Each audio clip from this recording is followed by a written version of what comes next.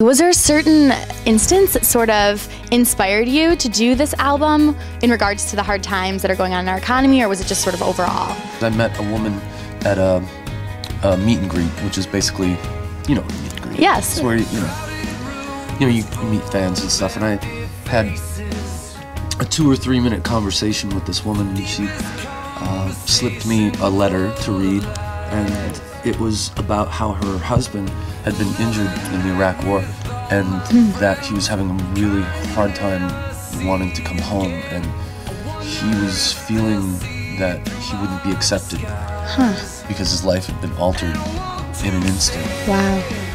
And it really struck me that wow, this is this is the true cost of, of a war, and how many thousands of people's lives are, being affected in this way. So what I wanted to do was sort of write a love letter from her to him, saying Wow. it's time to come back and let's get on with our lives.